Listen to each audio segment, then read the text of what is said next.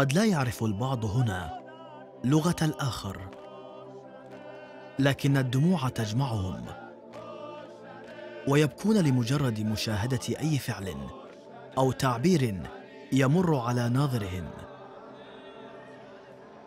الأجواء في كربلاء مشحونة بالعاطفة المتقدة والدعاء. في الحضرة الحسينية ترى مختلف الجنسيات وحلقات علمية. يقصد الزائر حرم العباس بن علي ابن أبي طالب عليه السلام. كما يقصدون حرم الإمام الحسين عليه السلام.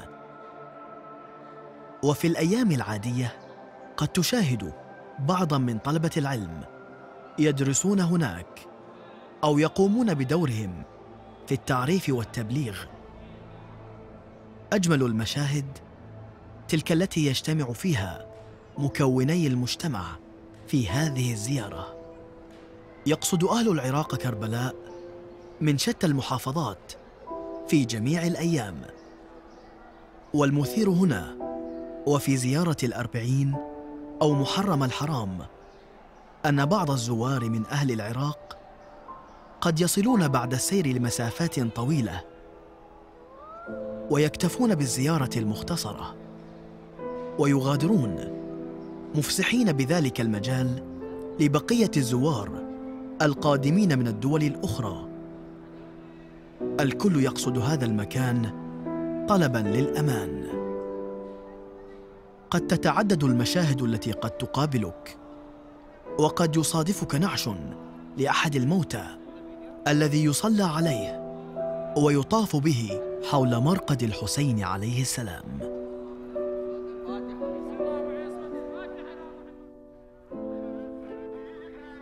المشاهد متعددة في أيام الزيارة والزائرين من مختلف الثقافات. يجتمعون هنا نساء يراقبن المواكب العزائية يتفاعلن مع قصائدها وقد تستريح هذه المواكب على الأرض.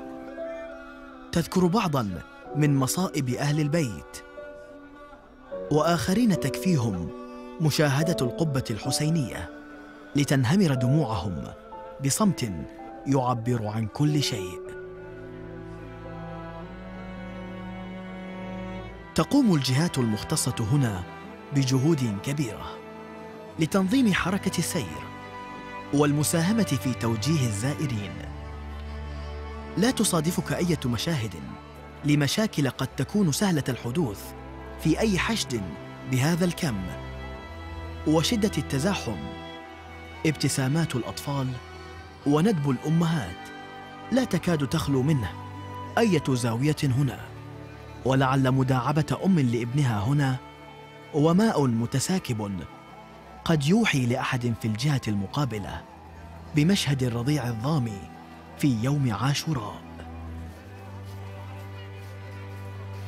تعفف المحتاجين قد تجده في صورة طفل يعرض خدماته لأخذ وزنك بمبلغ رمزي. أطفال وفقراء ينتظرون بعض الطعام الذي يتم توزيعه.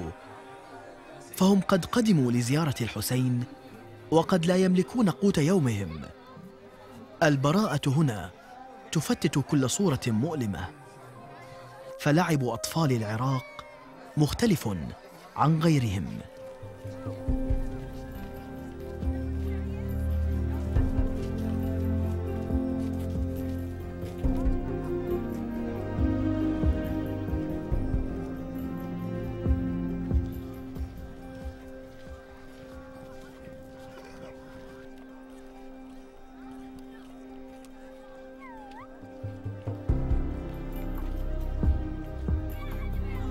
تتوزع المحال والباعة المتجولون في أزقة كربلاء وشوارعها.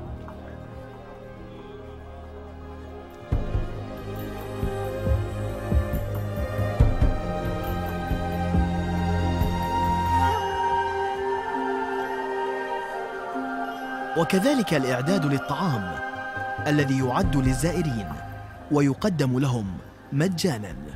يقوم الأهالي بتقديمه وتمويله. ويقوم بذلك بعض الزوار من الدول الأخرى.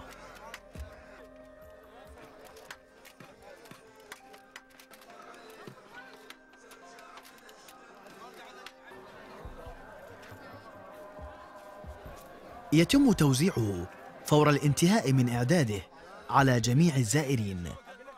يؤثرون بعضهم على بعض.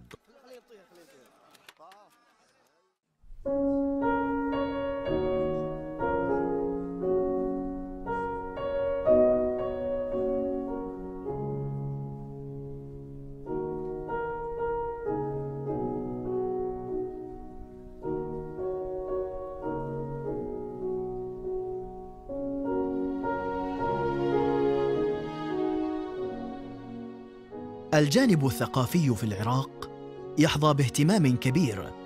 كيف لا؟ وفيه النجف الأشرف الحوزة العلمية الأكبر.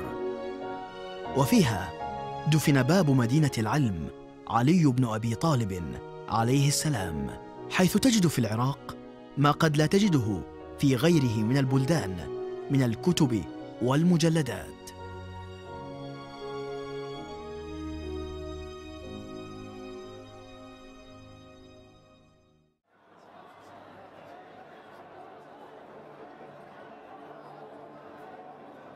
وفاء للعباس بن علي ولمواقفه في معركة كربلاء.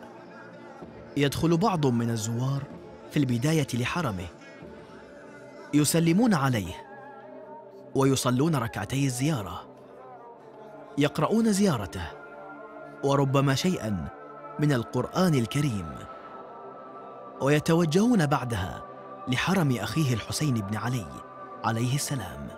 يحاول منظمو العتبتين العباسية والحسينية ضبط هذا الكم البشري الكبير من خلال لفت انتباه البعض لبعض السلوكيات وتوجيه الآخرين للمداخل والمخارج لضبط التدفق البشري في هذه الأماكن. كل وحدة الزمن سلبها بثرى الطفوف أربعة. اللي جمع حزنهم أبو الوفا ومصرعه تركنا وخلى ذرعان تآنسنا وفي هالغربة. تذكرت إني عطشانة. وسف ما وصلت القربة.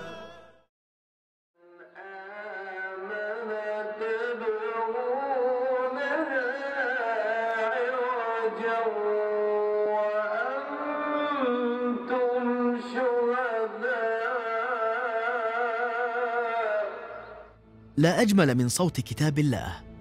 يخرج من هذه المآذن التي حوت شهيد الإسلام الكبير. في الأيام العادية لا يخلو الحرم الحسيني من الزائرين.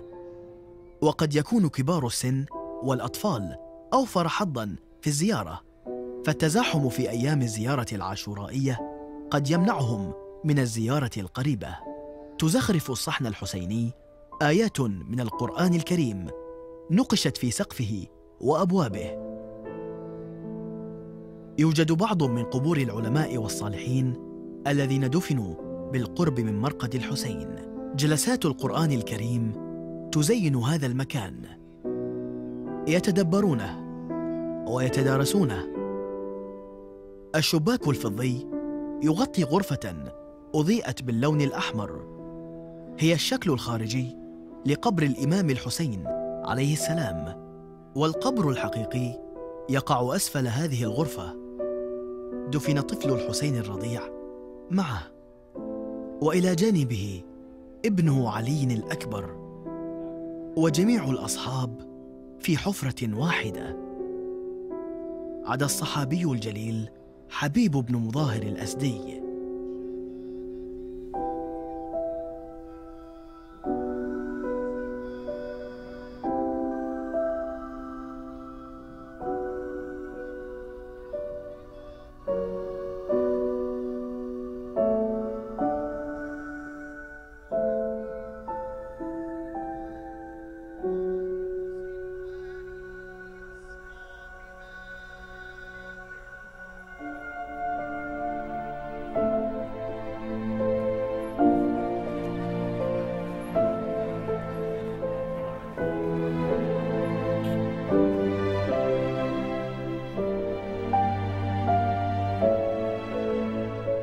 لا تنقطع المواكب حول حرم الإمام الحسين ليلا ونهارا. يتطلب من بعض الزائرين الكثير ليصلوا إلى هنا لكنهم يتحملون هذه المشقة. وقد مرت الزيارة بعدة عصور كانت فيها صعبة إلى درجة أنه كان على الزوار في أحد الأزمنة أن تقطع أيديهم إذا هم أرادوا ذلك وقد أصروا عليها. ولا زال الزائرون اليوم يدركون حجم المخاطر التي تحدق بهم وبحياتهم كالتفجيرات التي لطالما استهدفت الزائرين والمخاطر الأمنية الأخرى خلال تنقلهم. لا يثنيهم أي من ذلك عن زيارة الحسين والإصرار على رفع رايته ويتشرفون بأن يكونوا مستشهدين في حضرته.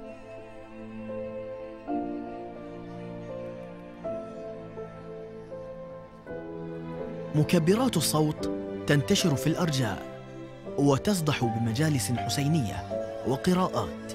لا تهدأ الساحات ليلا ونهارا ويحاول الجميع المساهمة في النظافة وخدمة المعزين.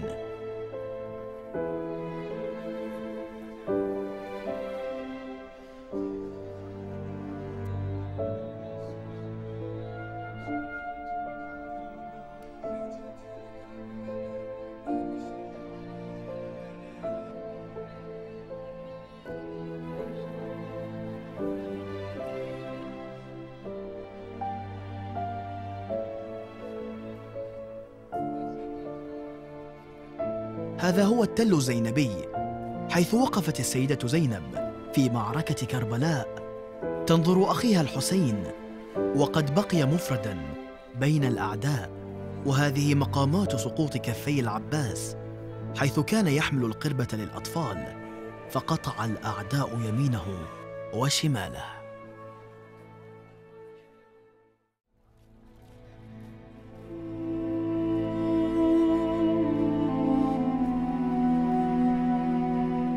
بيت الإمام علي عليه السلام في الكوفة. لا زال مفتوحا للزائرين.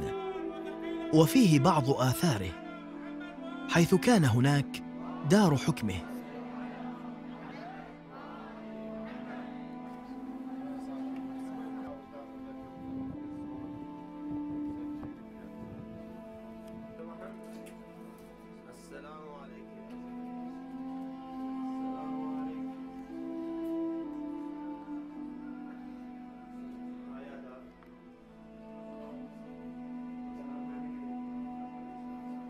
وهنا مسجد الكوفة حيث حكم علي عليه السلام. قد يتوجه الزائرون لهذه المعالم الإسلامية قبل زيارة الحسين أو بعدها.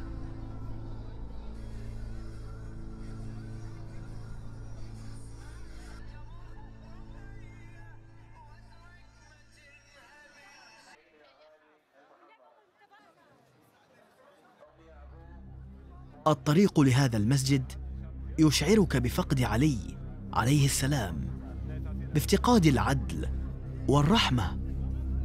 افتقاد من كان يحمل الجراب ليلا ليطعم الفقراء.